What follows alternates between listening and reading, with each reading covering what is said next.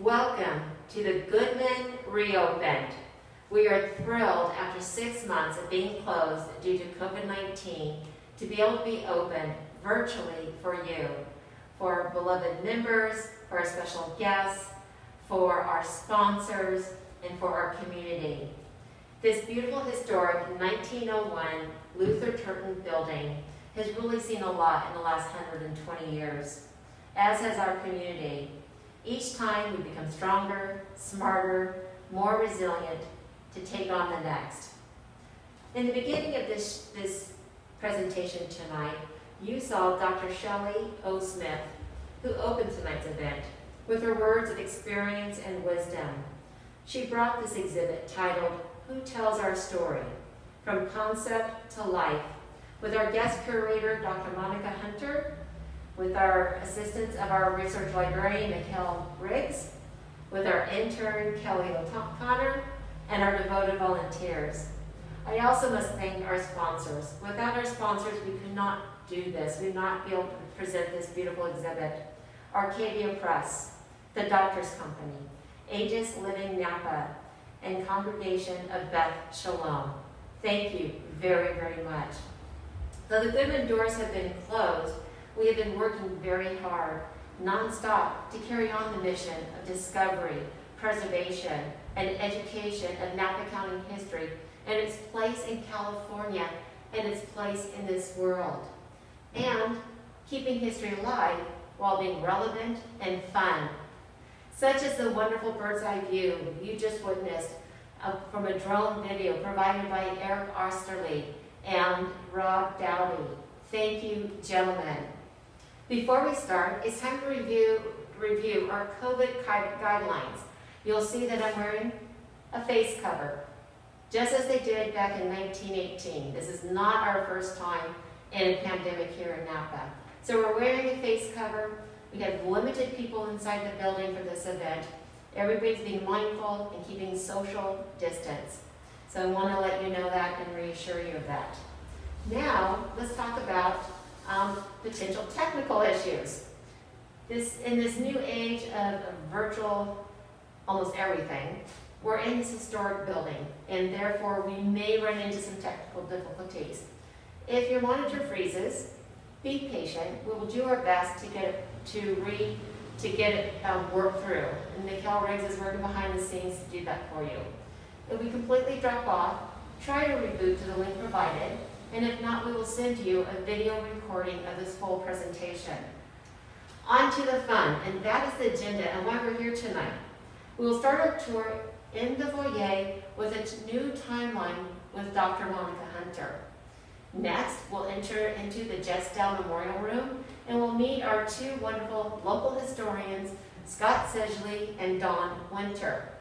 We will close with a toast and a message from our Board of Director, Danielle Barreca. Are we ready? Let's go and let's meet Dr. Monica Hunter.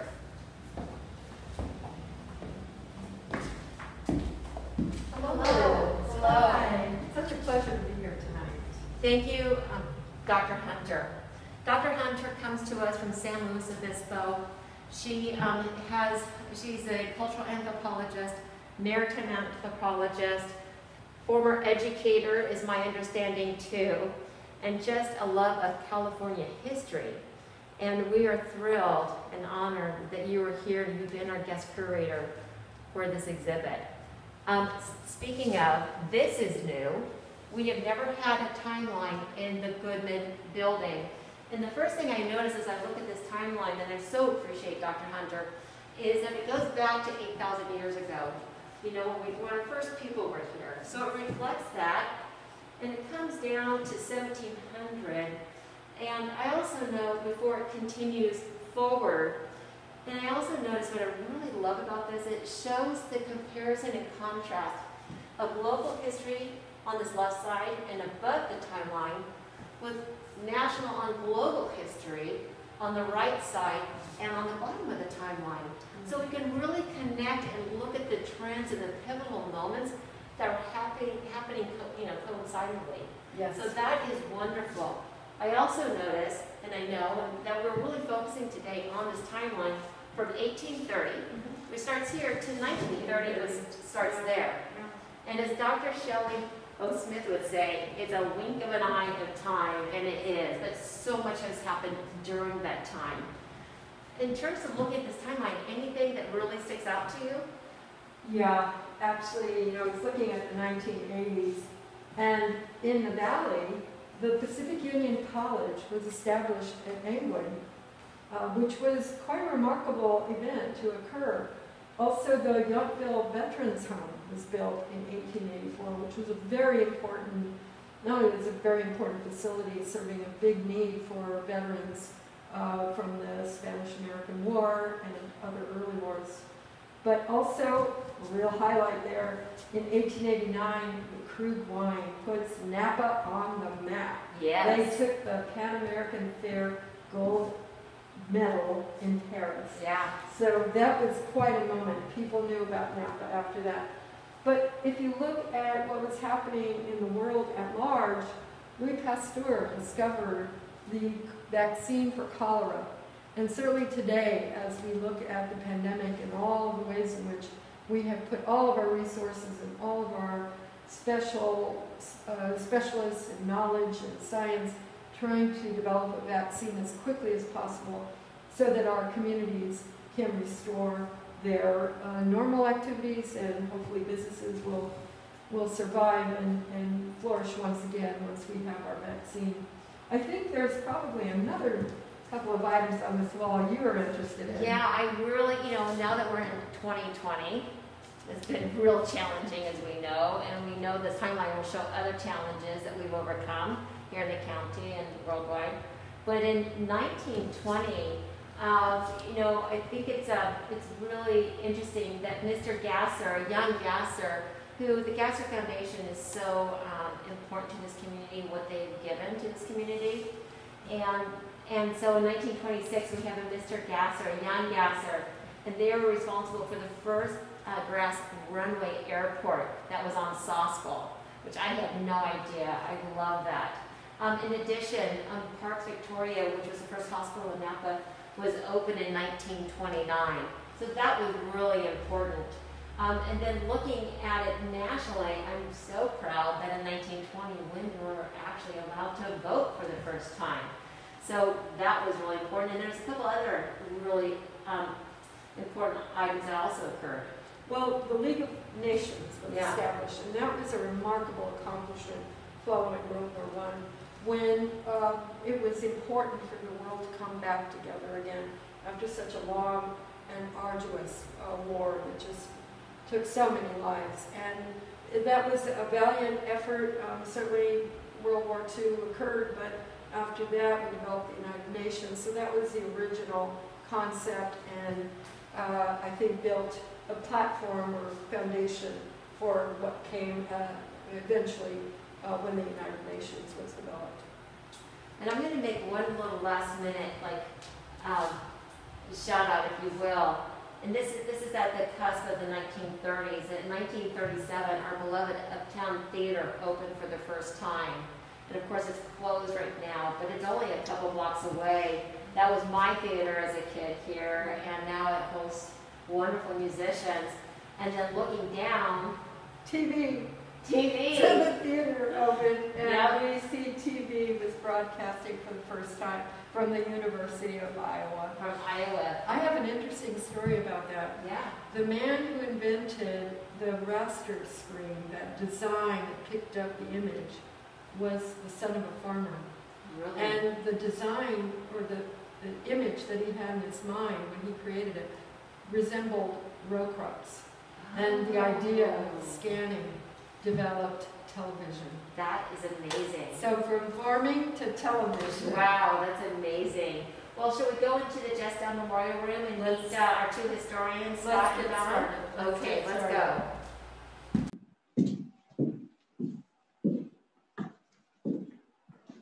And so here we have our wonderful historians, Don Winter on our left and Scott Sedgley on our right. Hello. Dr. Hunter, would you and Don like to start um, with the tour and Scott, they'll meet up with you and I'll stay and I'll stand back. How about that? That sounds very good. Thank you. Okay, so tonight, our, the tour tonight is going to showcase the work of uh, over a dozen authors. We're very lucky in the collaboration with Arcadia Publishing that has produced over 20 volumes, historic volumes, and really is the product of local historians uh, who researched uh, the life in the valley and have told many different told, and we're hoping that this exhibit will inspire more, more, more research, more of you sharing some of your family stories and uh, building on this incredible work and knowledge that we value so much in knowing what has happened in the valley and who was where, who was here, and how it worked, how it happened. So the, the exhibit is organized into five main themes. The first theme of the Napa Valley and the earliest uh, towns that were established. We have a section talking about people and the families that were here. Then we talk about the livelihoods, the way in which people earned a living and sustained themselves, some of the professions and industries that developed. And then we look at some of the fun side of life because life was hard and lots of work going on, but certainly there was time for fun. And that, that is something that in the Valley. And finally, at statehood, when Napa County became one of the first 27 counties established by the state of California, we're going to look a little bit at the government services that were provided to the residents of the valley.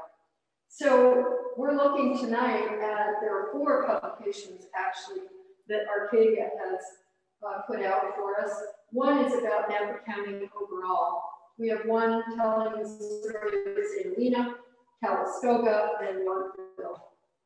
Certainly, uh, these eight uh, towns that we are highlighting are among the earliest with Napa City founded in 1847, uh, and then through the 60s and 70s, the last are Angwin and Napa Junction. I think Don was interested to see this map and to see what we put up, and uh, you had some other comments about. Thank, thank you, Dr. Hunter. And these wonderful Arcadia books also explore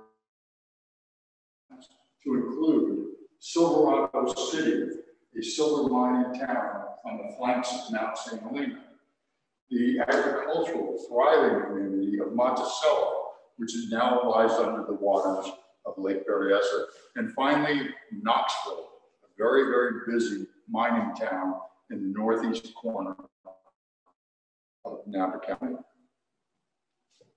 So part of the exhibit is actually um, made or built from the collections of objects that have been donated to the Historical Society over time.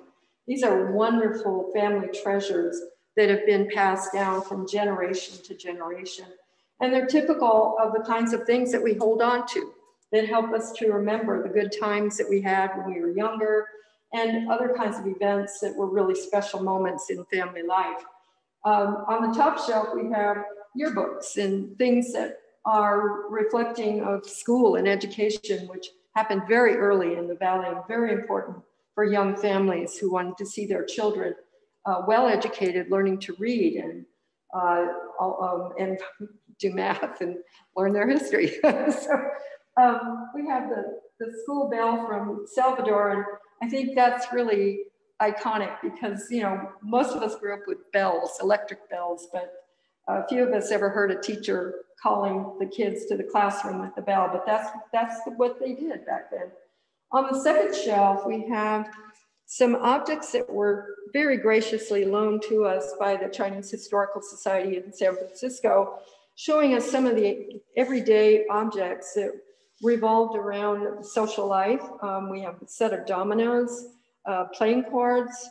In the center there, we have some very minute, small medicine bottles, typical of uh, cultural traditions in treating different uh, illnesses and ailments. And on the right, in the far right, we have a very beautiful and fragile hand-painted porcelain dish. So we really are grateful to the Historical Society in San Francisco for sharing those with us. On the bottom shelf is a very interesting collection of watches and personal effects. And I want to point out in the, in the uh, corner here, uh, the object, the uh, personal effects that belong to D.T. Davis. D Mr. Davis was, eventually became the superintendent of schools uh, in uh, Napa. Prior to that, however, he was a school teacher and a beloved school teacher. And um, I think it's really important as we think about uh, teachers and the role they play in educating our children, and certainly these days in COVID, when many families now are struggling with children trying learning going without the teacher. And we now understand what an invaluable role they play in assuring that children are well prepared for adulthood. And then there's a lot of that to be seen in this exhibit. Um, we had some souvenir plates that were created uh, for, as mementos of the valley, including one that depicts the courthouse. These are kinds of things that would be sold to visitors and, uh, and were very popular at one point in time. So here we're looking at the people that came to the valley. When the gold rush brought hundreds of thousands of people to California, many of them did go to the gold fields, but some did not. Some actually came and, and made their way by becoming traders and suppliers and working to support the gold miners. And they actually made quite a prosperous living. And eventually they opened storefronts, including the Tanasha grocery store here. The up above, we have Hoddles, and uh, then Wyckoff and Griggs. These were typical of the kinds of commerce and merchants that were springing up all throughout the valley and the different towns, reflecting the needs of the community and the resources and working together with farmers and ranchers which was a big aspect of the history of the valley.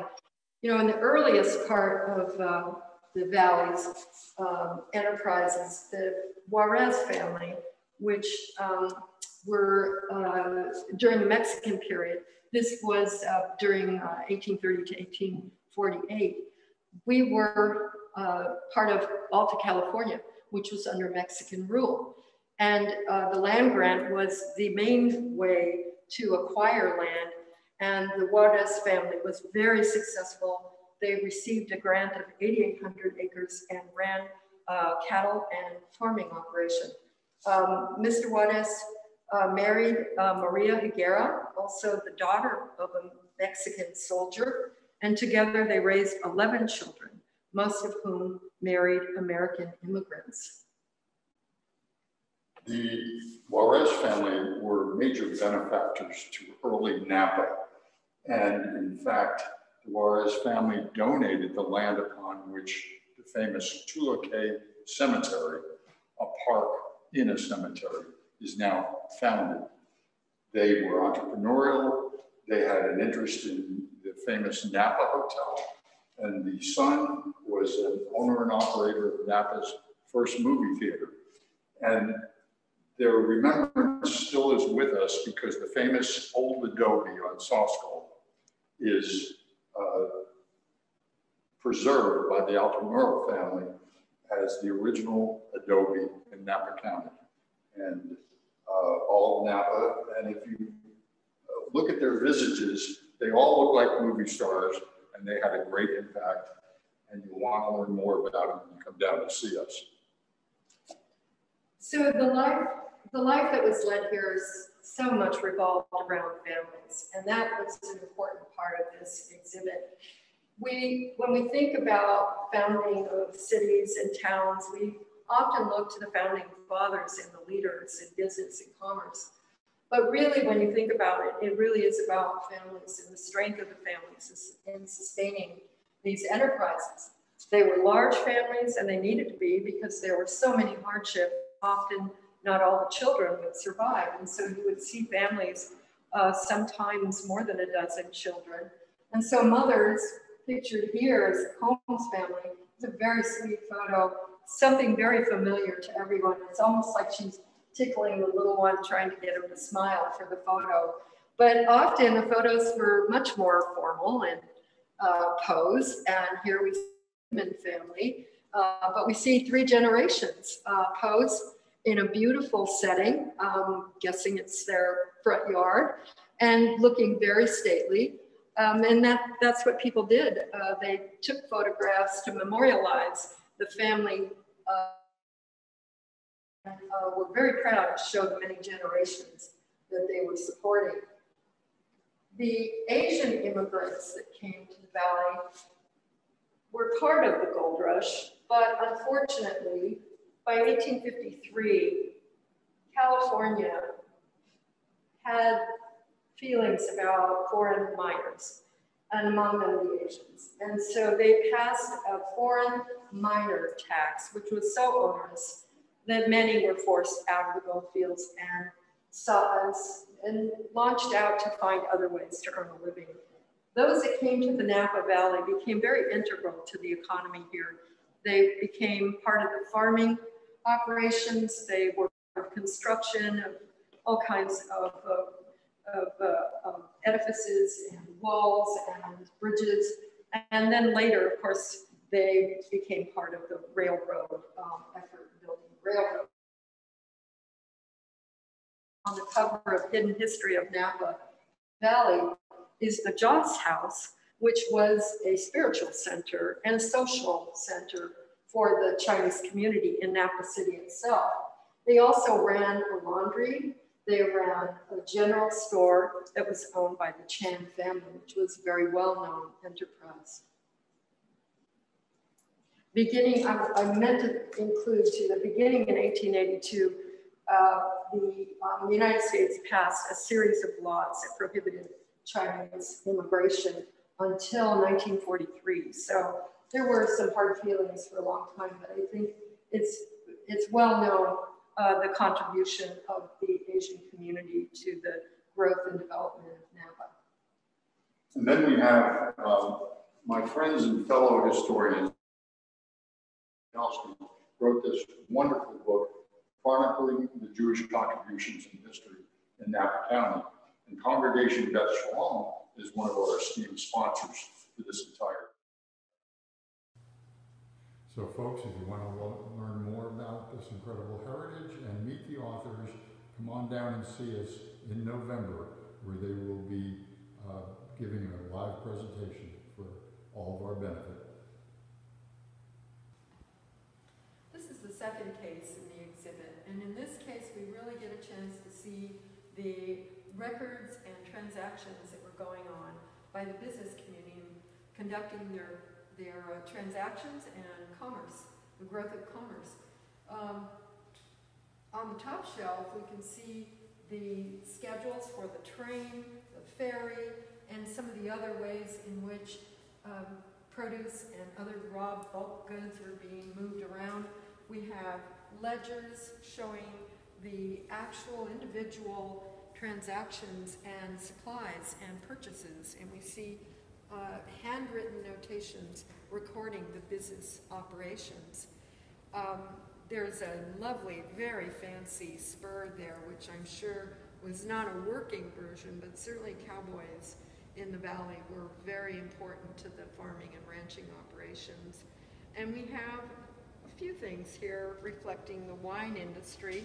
We've got a very old 1890 wood and metal corkscrew and we have some foils that are very beautiful colors, deep, rich colors that were used in bottling.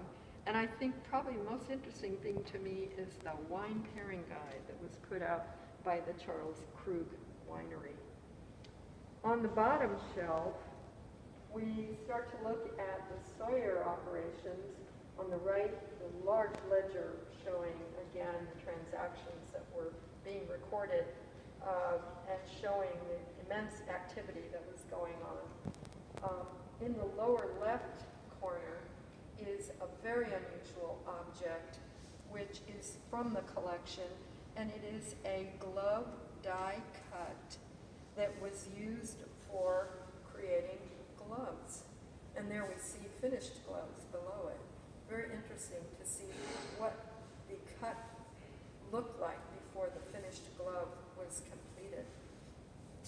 In the bottom, very center, is a press that was used to mark the sidewalks by Mr. Imboden. And I think those of you that have grown up in the valley, you have seen that marked on many sidewalks in your lifetime.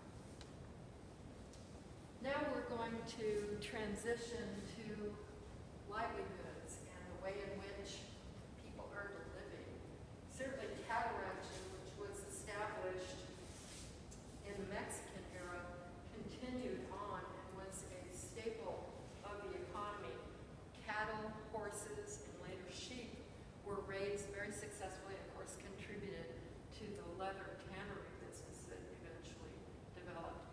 There were chicken ranches, there were dairies, and uh, uh, in the early days, especially during the Mexican era, grain and oats and barley were, an- were a big uh, part of the agricultural production. At one time, Napa Valley produced 10% of all grains that were grown across the United States. Can you think of that? A small valley like this producing 10% of all grains that were being produced. And up above, we see images of fruit uh, being dried and berries being picked. The fruit um, agricultural economy was really developed by the European immigrants who recognized the climate and the uh, opportunity. Once they started growing fruit, it became a rare and valued commodity, especially once the trains were in place and freight was shipped to the East Coast. And uh, these uh, very uh, special fruits were very much appreciated by folks on the East Coast who didn't have such things year-round as we do here. I have here an unusual photo of a Cinnabar sluice box. Mining is certainly uh, very important to the valley, and I think we can hear more about it from Don. Thank you, Monica. While most are familiar with the preeminent role of agriculture and hospitality since the beginning in Napa, mineral extraction also played a huge part in our economy and development. There were significant amounts of gold in our hills, widespread silver mining. We also have petroleum, iron, um, coal, and on the more ominous side, we were one of the major producers of mercury in the entire world. And the Cinnabar mines and the smelting and extraction purpose processes were largely centered in northeast Napa, but the daily newspapers quantified how many flasks of mercury Napa County produced every single day. And then on the most ominous side, Napa was also a major asbestos miner. Tremendous.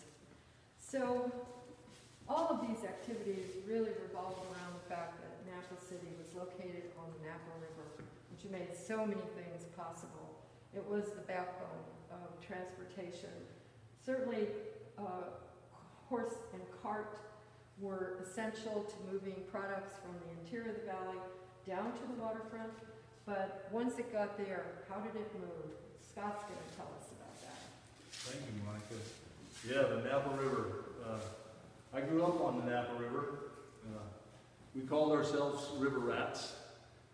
In the 50s and 60s, it wasn't really a river we swam in, but, but it was a paradise for young boys along the banks and the tributaries to the river. And, you know, this, this whole discussion could have very well started with the river because, uh, like Monica said, water and river waterways are essential to any community and civilization.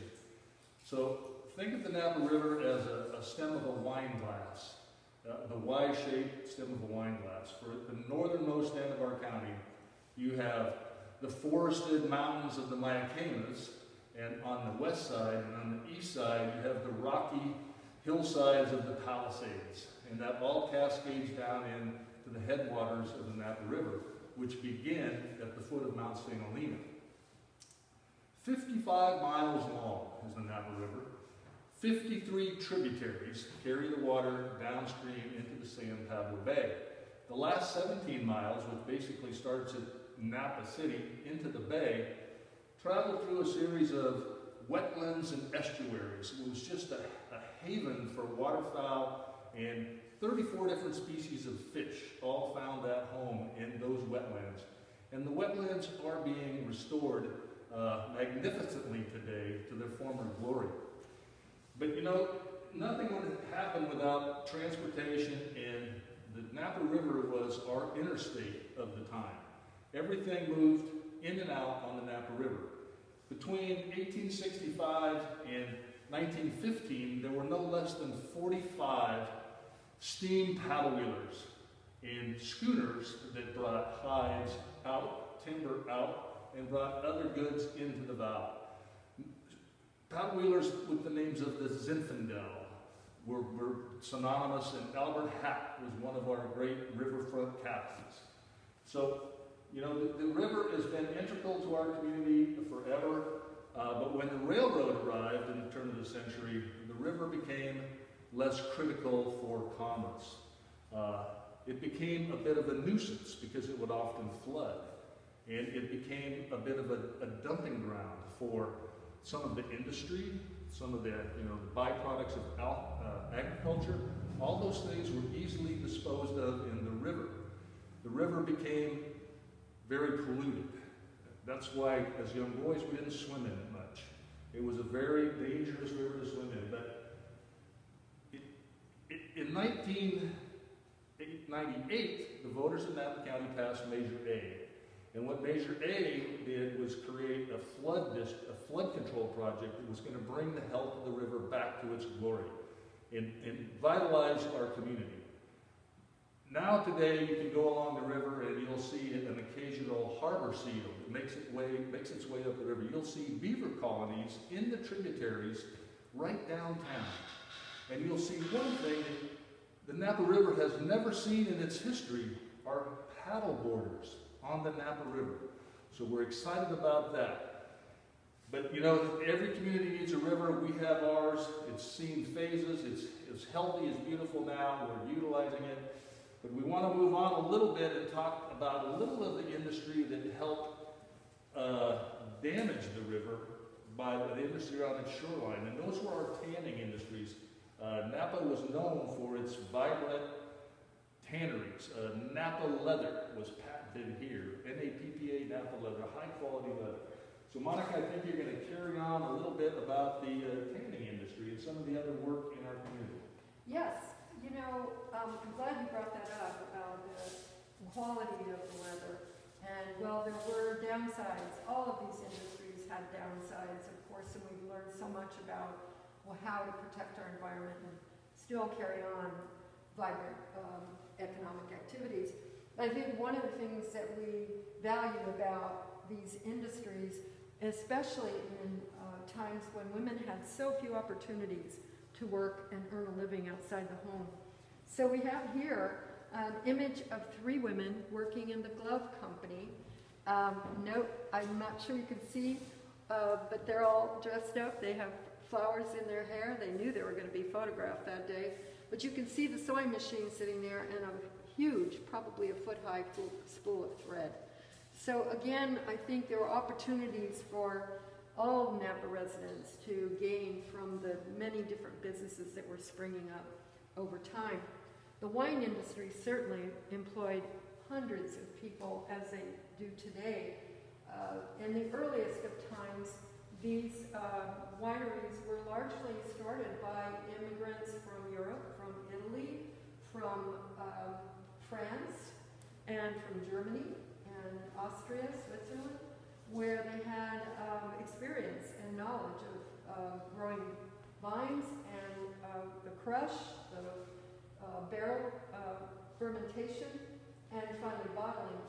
We have uh, found images here of two of the most well known, the Beringer uh, group here, proudly standing in front of what seems to be a very large and beautiful building. And up above, we have what we think is a crew working at the Krug Winery. Uh, and we can see some of the equipment, some of the big, large crushing um, uh, uh, devices uh, they're standing in front of. I'm sure that's their daily workplace. And up in the corner, we have uh, Mr. Um, Anthony, and I'm blanking on his name. Let me start again. Antonini uh, Nichelini. Up in the corner, we have Mr. Nichelini, who's very proudly standing in a vineyard in the 1920s. And we know that uh, the 1920s, during the 1920s, we experienced prohibition uh, when the 18th Amendment was passed. And we'll hear a little bit more about prohibition when we uh, round the corner here. Um, but at the turn of the century, we we read in the history that there were well over 140 wineries that were operating. Not all of them survived uh, prohibition, but we'll talk more about that. And finally, we have a couple more areas where people were, let me, let me flip around here. We have a couple more areas where people were employed and uh, began to develop different kinds of professions. Certainly, banking and financial services was something that was missing here in the valley until 1858, when George Goodman and his brother James started the Goodman Bank, which was the only bank in the valley until 1871. So they really provided an essential service. And note these dapper young men here. Women were not working in banks back then, but these days, of course, they do. And then another very important uh, area and providing many, many jobs uh, as well as the professions, in the medical professions, was the, um, the, uh, uh, uh when the uh, asylum was built, California's largest asylum was built here because of the natural environment and the belief that being outdoors in healthy natural settings was very recuperative and therapeutic. Uh, we also had the uh, veterans home that was built in Yountville at the other end of the valley um, for the same reason. Both of these facilities were very large and housed many hundreds of patients. Uh, the, the patients at the, um, the asylum actually worked on the grounds there were gardens, there were dairies, and there were other ways, the lumber yard, there were other ways in which they worked. And then people were employed in the bakery, the kitchen, the amusement hall, the drugstore, the kitchens, and the dining rooms. And it's worth noting that both the Veterans Home and the asylum were recognized as among the most significant architectural achievements in Northern California. Um, they're both still operating to this day. And as Monica mentioned, the basic premise of the insane asylum was occupational therapy, wherein all of the inmates were required to work and contribute to the success and sustainability of the overall uh, venture. And that went on well into the uh, 20th century. So uh, if you look at the uh, Arcadia books, you'll see many representations of both the uh, veterans home and the asylum as they continually changed and uh, portions were demolished and new ones arose. But it's just some fascinating architecture and a wealth of personal stories within each. So Don, let's take a look at what people did for fun, because clearly these kinds of uh, ways of a living were very labor intensive and very hardworking people sustained seven-day work weeks, no doubt. So in the valley, there were many, many seasonal festivals, and these were enormously important and popular for socializing and getting together with neighbors and family. Certainly when the circus came to town, that was a time when everybody wanted to be able to join the show and watch the ring leader, the ringmaster, launch the show, start the show. There was Chinese New Year, there was uh, Fourth of July, and we see the Donahue sisters up above, all dressed up. And people did that frequently. They fashioned a costume uh, reflecting the season. They would decorate their buggy and uh, horse and cart, or bicycle in this case. Later, automobiles would be covered with flowers and ribbons, and they'd all show up. And then there would be the parade, and with the parade was a band. One of the earliest bands was the band of the Juarez Rancho. They held annual rodeos, which were extremely popular in the valley, and you had to have the music to go with it. Pictured also here is St. Helena Concert Band. Many of the towns had bands, and certainly later the high school bands filled in when, uh, when music was needed down the main street of each town.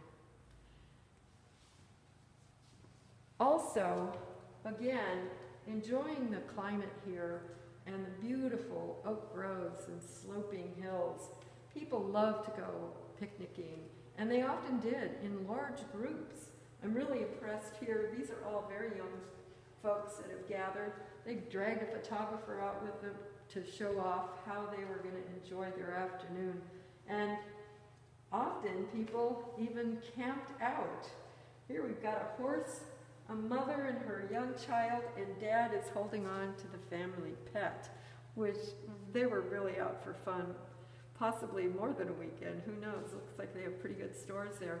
But if you didn't like the outdoors, if that just wasn't for you, Napa was full of hotels. So, Don, why don't you tell us about that?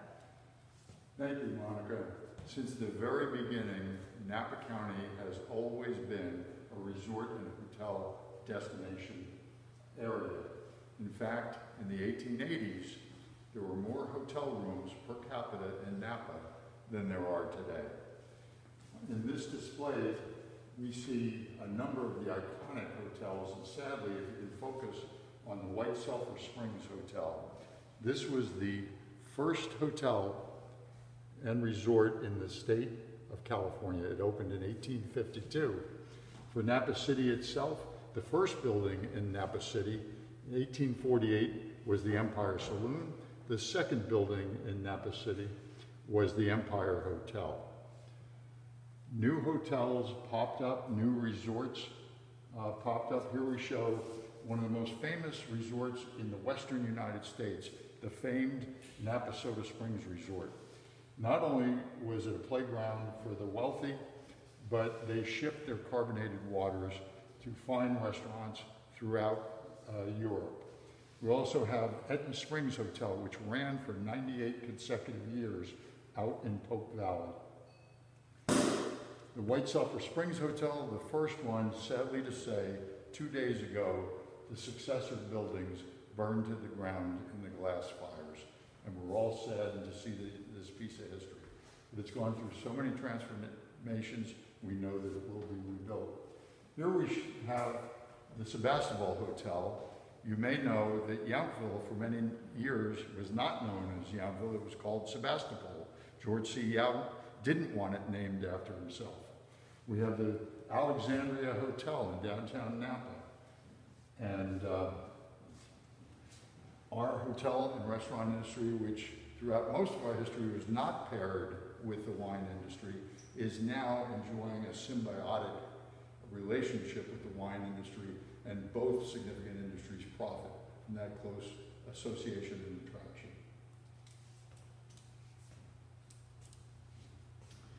So here we have the third case, and in this case, we start to talk a little bit more about what happened uh, once California became a state. But to finish off what Don was talking about, we have a little bit of some of the um, attra- attractions that brought people to the Napa Valley. Uh, we had Calistoga, of course, had the what's called the Valley of the Geysers, and people were thrilled to come uh, to actually witness this explosion coming out of the earth. It was quite exciting. Um, we've got pictorial histories, and we've got here back here. We had there were lots of kinds of sporting clubs. There were bicycle clubs, there were boxing uh, clubs, and here we have a Coast League uh, baseball signed. I'm not sure who signed it because let's see, this says circa 1910, so we don't know which team it was. But um, again, you know, the leather industry was producing not only garments and gloves, but they actually produced leather that was used for baseball, which is a very special kind of leather, as well as producing baseball gloves. So those were the kinds of things that contributed to sports. As far as once uh, the state was declared and Napa became the county, uh, and Napa City became the seat for the county, elections were held. So we've got some, we've got a poster here for you showing Charles Jackson, who ran as a Republican for Superior Court judge. And we also have some, a certificate here certifying the election, some ballots, interestingly enough, a poll tax receipt in the amount of $2, which seems pretty high to me for the privilege of voting. We've got a book issuing liquor licenses, uh, obviously before 1920. And down below, we have um, a, a, very early um, uh, example of police handcuffs and uh, the sheriff's uh, or Marshall's badge that was worn, and an, uh, a, very um, elaborately decorated uh, police baton. And recalling that back then we called them peace officers because that's what they were and that's what they still are. And we value the police and they have uh, contributed uh, to just maintaining order in our society. Um, so let's move on to this final panel. Let me, let me swing around this way. Once, once the county began to develop services for the community, there were a number of things that were initiated. First of all, rural mail delivery was taking place with um, horse and buggy. And here we have a photograph of a very proud mailman. Um, we all know the motto of the post office, and we hope to see that our post office today survives and carries on the fine tradition of making sure that the mail is moving quickly and, and reaching its intended uh, recipients. Um, above, we've got a picture of the Goodman Public Library, the building we're standing in. When this building was built in 1901 by the Goodman family, they deeded the land as well as uh, built the building. And it was two floors. The top floor, which still holds the collections, was set for the library. But downstairs there was a, a woman's tea room and a male uh, men's billiard room, which later became a children's library room. So we were very grateful to the Goodman. This is such a beautiful building, and we're lucky that it survived all these many years. Police and fire, again, there's something that all civil society relies on peace and order. And the police department here was, um, in, by 1850, we were seeing elections for marshals, uh, sheriff, judges, justice of the peace, uh, and constables. Um, in the early days, people were voted in on uh, party tickets that ended uh, later, and we no longer have partisan elections for these kinds of offices. We've got a fabulous photo here of the fire chief dressed up like a policeman. Um, but we really didn't have a police, uh, pardon me, we really didn't have a fire department until 1906 when the city of Napa, uh, by the way, changed its name in 1874, and they finally formalized the fire department. Prior to that, and you can see here in this photo from the 1890s, the fire department was really essentially volunteers, mainly made up from the business community. So the downtown businessmen would be on alert during fire season, and they would not hesitate to run out the door and run for the hoses and do what they could to protect uh, both lives and um, structures. Uh, up above, we've got a pretty happy looking group up there of firemen uh, posing for a picture in front of the bakery. Uh, I don't know, police seem to be the ones hanging out in the bakery, but in this picture it's the firemen. Um, and then above we've got the courthouse, which was built six years after the county was started. An interesting point of this very elaborate building was that it was actually built back east and shipped west and then put in place. And inside that courthouse on the second floor was the first jail. And I suspect the police were very happy to have a place to put unruly people who just weren't cooperative. One important um, moment in time reflected here on the wall is this political poster from the general election in 1910. And in the center of this image or this poster is Margaret Melvin, who was nominated for superintendent of schools of the county. And she actually was elected to be superintendent. The most interesting thing about it is that in 1910, Miss Melvin could not vote in that election because women did not get the right to vote until 1920. So while they couldn't vote, apparently they could run for office. And we're very glad that we've had 100 years now of women voting. And below we've got a picture of some females working in the clerk's office. So again, there were professions that were open to women, not everything. Eventually, women made their way, but we certainly bow our, or tip our hat to Miss Melvin for being among those leaders who stepped into community life and did, provided uh, civic service to her community. And um, let's see, we've got something up here about the prohibition. A great story about our history. Um, this is a wonderful book describing the ups and downs of the effects of prohibition. Now, our burgeoning wine industry was devastated in the 1890s by the outbreak of phylloxera. So most of the vineyards were destroyed, wine production got down to zilch.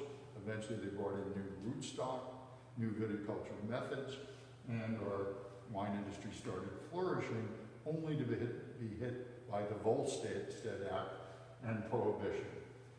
Most wineries shut down, went bankrupt, found alternative agricultural pursuits, but not all of them shut down. And we uh, actually manufactured alcohol in many forms. And in fact, while the wine industry was shut down, the hotel industry flourished because Napa County was known as a wide open county. And residents throughout Northern California would come up for the weekend and check into hotels and then load the trunks of their cars with bootleg liquor and wine. So it wasn't all bad for all industries. And unfortunately, after repeal, the major beverage dis distributor in Napa County, a famous hotelier, somehow found vast quantities of beer on hand the day Prohibition was repealed. It's a great Napa story. Certainly is. Very much in keeping with the, with the culture of the valley. So the last little series of photos here uh, represent military life. And in California, at statehood, uh, the, um, the, um, the California State Constitution in 1849 uh, established military service, and later in, in 1903, the Militia Act created the California National Guard. We have an image here of the National Guard encampment that was here in Napa and on this side over here, we've got a, an image of the Napa National Guard Hospital Camp. Note that we have sailors as well as Army and, um, yep, looks like we have some uh, medical folks there too. Um, what, what is really important about those sailors is they reflect the fact that Mare Island was built in 1853, very early, and was the first large naval shipyard on the west coast, located here, just a few miles down the, down the river um, in San Pablo Bay. And um, Mare Island has employed hundreds and hundreds of uh, Napa residents over the hundred more than 160 years, 180 years possibly, that, that, that has been in existence until 1996 when Mare Island was officially closed and it was given to the city of Vallejo. During the time that it was in operation, it was home port to sailing vessels, in its early days, steam vessels, and later more modern vessels of war. So it's, a, it's been an important um, aspect of uh, employment, certainly, and a connection to the military for the valley. And finally, I want to close with a very poignant image that is from the collection, uh, and it is of Armistice Day in 1918. And I feel sadness for, when I look at this picture, just as I feel sadness today for all of us who are enduring through this pandemic and hoping that each of our families is safe and that we are looking forward to a time when this pandemic will no longer be, uh, you know, something that we have to contend with. And let's hope that that happens very quickly, and let's hope that our families remain safe and our communities stay strong, and that we hold together, and that we do everything possible to protect ourselves and our community as we wait for a vaccine and um, the path back to some kind of new normal. We don't know what that will be yet, but it will be a time when everyone will be uh, relieved and rejoice. So, we have another exhibit in the hall uh, that's also here tonight and will continue on beyond this exhibit. And I'm going to turn it over to Liz. Thank you, Dr. Hunter. Um, over in this corner, you passed up with the voices. And this is part of an exhibit called Echoes of the Valley. It focuses on four um, themes. It, right now, it started in August 15th, and right now it's Women in the Valley. This is available both online through our website at napahistory.org, and we have a new sound cone that is here that was provided by California Revealed. This whole project was provided by California Revealed. The sound cone is wonderful and how it emits the sound and the echoes of the past. And so once we finish uh, Women in the Valley, which will finish on October 15th, we're going to hear more from riverboats and the river. That's going to go from October 15th into December 15th. Following, it'll be the Working Pioneers from January 15th to March 15th, and it will end uh, with architects, architectural highlights, which is a popular um, for many people, um, and that will go from March 15th to May 15th. Again, this is available both on our website at napahistory.org and here inside the Goodman at the Jess Goodman Memorial Hall through our sound cone.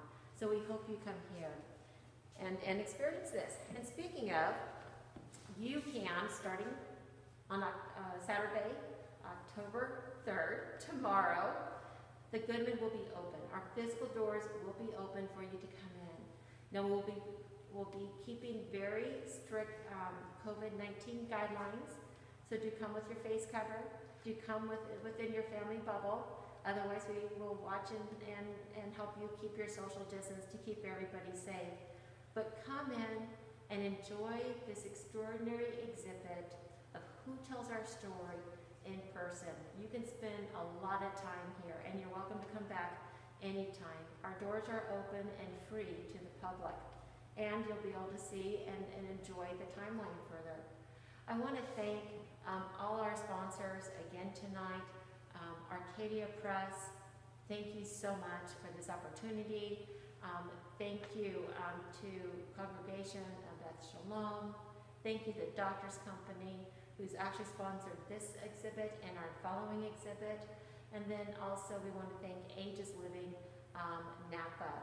Now, it was true tradition when we opened a, a special an, exhibit, we have a toast.